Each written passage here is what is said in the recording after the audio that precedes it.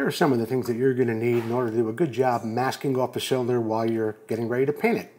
First thing I like to do is use a little brake clean from AMSOIL to make sure I get rid of all the grease and grime around that area, especially where the gasket was before I took the bike apart.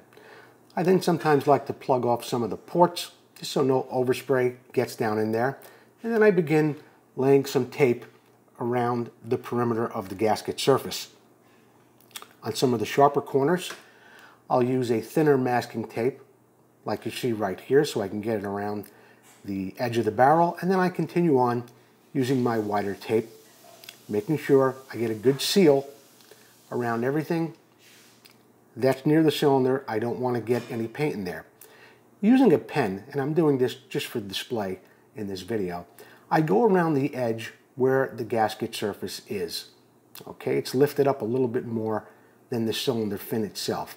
I then take a very sharp X-Acto knife and I follow that line around and I give myself a nice crisp clean cut and I remove the excess masking tape and then I'm ready for paint. I've got a good seal around my gasket surface and I'm ready to go.